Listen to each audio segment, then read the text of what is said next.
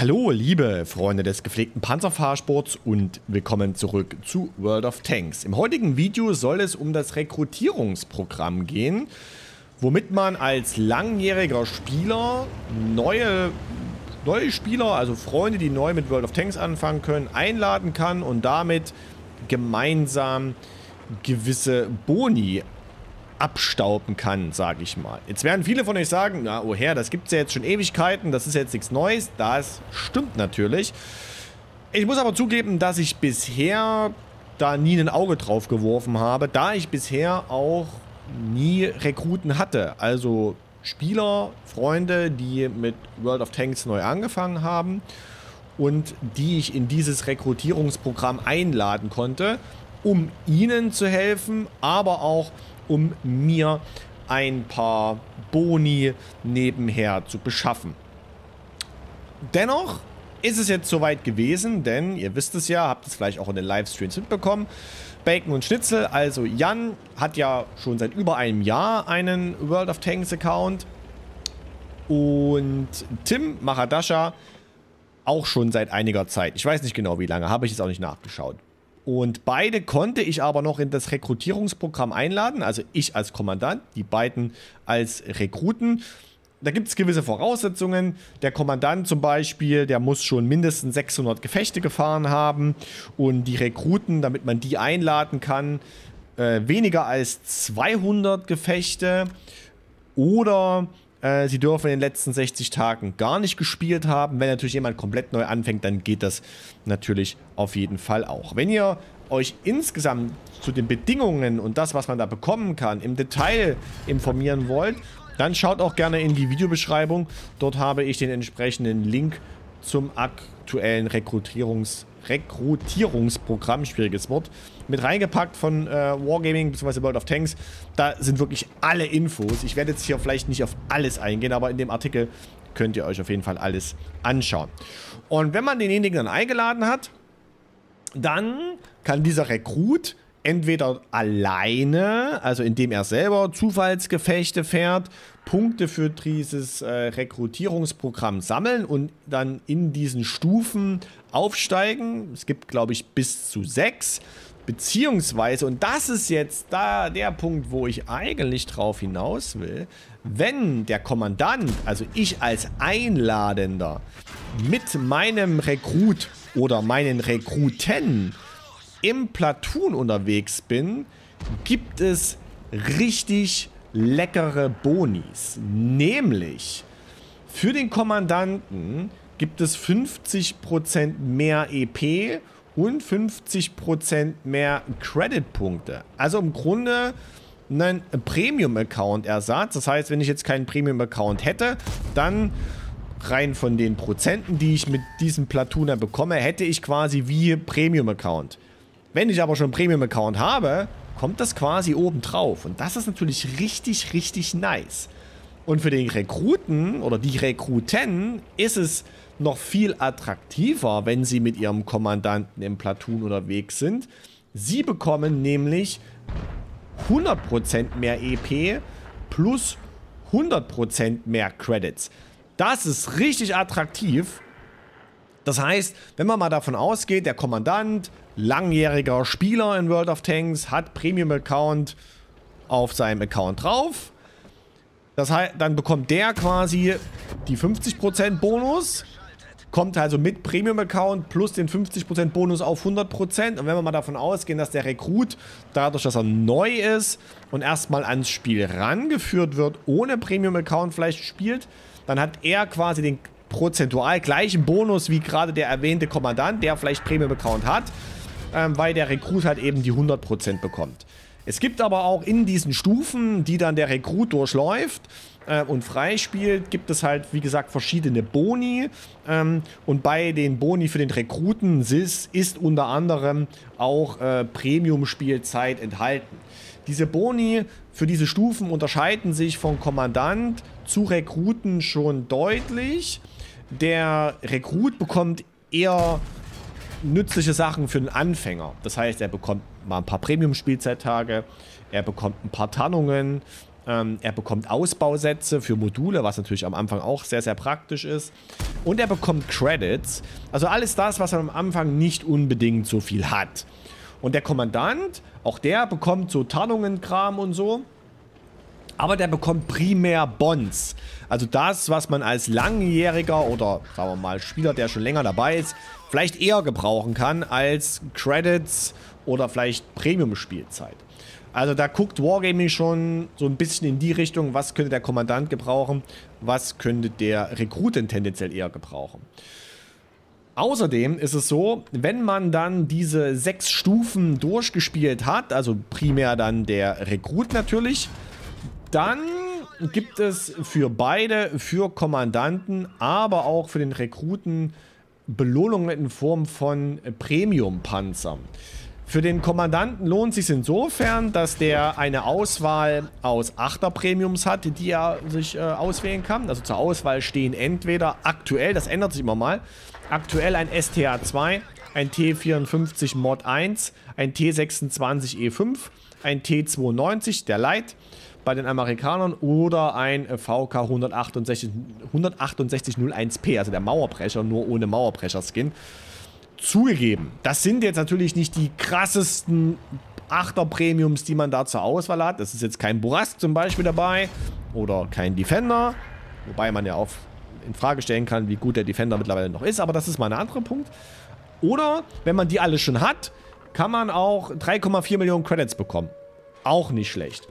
Und der Rekrut, der ja durch dieses Rekrutierungsprogramm auch ein bisschen ans Spiel rangeführt wird, der das Spiel kennengelernt hat dadurch, sich dann auch ähm, durch diese, diese Stufen und durch die Gefechte, die er gespielt hat, ein bisschen Erfahrung gesammelt hat, der kann sich zwischen 6er bzw. 7er Premiums einen auswählen. Und hier stehen zur Auswahl der T3485M, der Skoda T40, die SU 12244, der Tiger 131 oder der VK 4503 oder eben 1,9 Millionen Credits. Meine Empfehlung für die Rekruten wäre hier natürlich definitiv den Premium-Panzer zu nehmen, weil im Gegensatz zu den Kommandanten, die vielleicht schon alle Panzer, Premium-Panzer haben, die sie haben wollen oder denen die Auswahl nicht passt und entsprechend was mit den Credits anfangen können, ist natürlich für einen Rekruten, der vermutlich jetzt noch kein Geld investiert hat, ein Premium-Panzer natürlich ganz nett. Und das Coole daran ist, bei der Auswahl von den Premium-Fahrzeugen für den Rekruten, das ist auch eine etwas buntere Mischung als das, was Wargaming jetzt hier dem Kommandanten anbietet. Ja, der Skoda T40 mag nicht gut sein und den allermeisten würde ich wohl den 85M empfehlen, weil der sehr universell ist und für seine Tierstufe gesehen ein sehr, sehr guter Premium. Aber wenn der Rekrut gemerkt hat, in den Gefechten, die er bisher gefahren ist, hey, mir liegen eigentlich eher die Jagdpanzer, dann hat er im Zweifelsfall die SU 12244 zur Auswahl, also sogar den 7er Premium. Oder wenn er der Meinung ist, hey, Heavies sind irgendwie das, was mir gefällt, dann hat er mit dem Tiger 131 einen ziemlichen Klassiker als Heavy am Start, als Premium, der eigentlich auch in Ordnung ist für seine Tierstufe. Oder wenn man es ein bisschen spezieller mag, sage extra speziell, dann eben dieser VK 4503, dieser 7er Heavy, der von seinen Eigenschaften irgendwo zwischen Tiger 1 und Tiger P liegt. Aber ja, nicht unbedingt meine Empfehlung wäre. Also ich würde hier zum Beispiel dem Rekruten sagen, pass auf, entweder nimmst du den 85M als Medium, als ganz klassischen Medium, oder du nimmst den Tiger 131 als ganz klassischen Heavy. Alle anderen sind schon ein bisschen speziell. Der Skoda T40 ist einfach scheiße. Die Su 122 ist jetzt nicht unbedingt ähm, ja, up to date. Und äh, der VK, habe ich ja eben schon gesagt, ist jetzt auch nicht unbedingt die Wahl, die man da so als Anfänger vielleicht treffen sollte. Aber, und darauf muss ich halt einfach nochmal zurückkommen, diese EP- und Credit-Boni, wenn man im Platoon mit den Rekruten fährt, das ist ziemlich, ziemlich geil. Also ich habe Runden gehabt, wo ich wirklich in Credits geschwommen bin. Und natürlich für die Rekruten ist das extrem hilfreich, weil sie natürlich einerseits, wenn sie im Platoon fahren, durch den Kommandanten das Spiel besser kennenlernen. Also ich konnte Jan und Tim in diesen Runden eigentlich immer Tipps geben, wo sie sich hinstellen können, was sie machen sollen, wo sie hinämen sollen. Dadurch lernen sie das Spiel besser kennen und sie bekommen eben äh, diese Boni, diesen 100% Bonus und können entsprechend schneller leveln und sind jetzt nicht gezwungen, sich am Anfang gleich direkt Premium-Account zuzulegen, sondern haben dadurch quasi den Bonus des Premium-Accounts plus diesen Bonus des Rekrutenprogramms und kommen dadurch entsprechend auch relativ zügig vorwärts. Und das merkt man auch.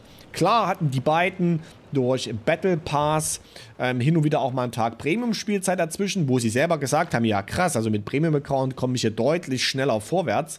Aber eben auch durch diesen Bonus im Platoon-Fahren hat man schon spürbar gemerkt, wie sie schneller an äh, EP gekommen sind. Und beide sind mittlerweile in der Lage, entweder sogar schon eine zweite Linie anzufangen oder eben hier auf dem VK3002D die Field Mods zu forschen, weil sie eben den Panzer schon durchgeforscht haben, ihnen aber aktuell die Credits für den Tier 8er fehlen. Wobei ich hier auch sagen muss, warum? Ihr müsst jetzt erstmal nicht auf Tier 8 fahren. Natürlich wollen sie weiterkommen, das merkt man auch.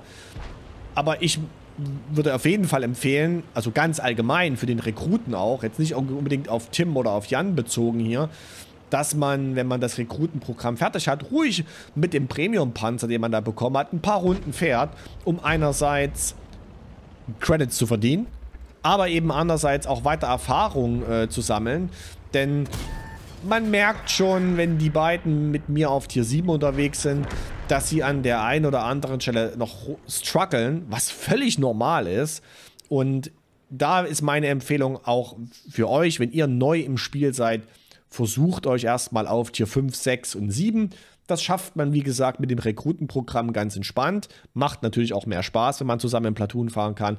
Und dann kann man, wenn man entsprechend Erfahrung gesammelt hat und sich auch ein bisschen sicherer fühlt, dann vielleicht auch irgendwann sich den entsprechenden Achter im Tech-Tree, den man da freigeforscht hat, kaufen und sich da entsprechend weiter versuchen. Wenn man das natürlich möchte.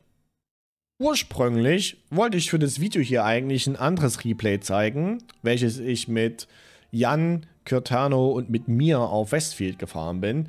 Aber da Wargaming mal wieder ein Update reingeschoben hat und die Replays dann mit der Version nicht mehr funktionieren und die Version, die ich davor hatte, aktuell auch nicht zum Download in irgendeiner Form angeboten wird, habe ich hier diese Runde vom Freitag mit dem Cheeto SP genommen, bei der wir eine schöne, spannende Runde hatten. Ich konnte hier entsprechend schön Schaden machen und wir konnten auch ähm, Jan äh, und ich da den IS-3 ganz gut in der Aktion zerlegen. Da hat er auch mal gemerkt und Tim, der dann glaube ich schon raus war zu dem Zeitpunkt, ähm, wie das Ganze auch mal zusammen funktionieren kann. Und das war schon ziemlich cool, da den IS-3 in die Zange zu nehmen. Also wenn ihr Freunde habt, die gerne World of Tanks ausprobieren wollt, ich kann euch nur ans Herz legen, nutzt dieses Rekrutierung, Rekrutierungsprogramm. Ich scheitere an dem Wort immer wieder. Ähm, und vor allen Dingen fahrt mit ihnen auch zusammen.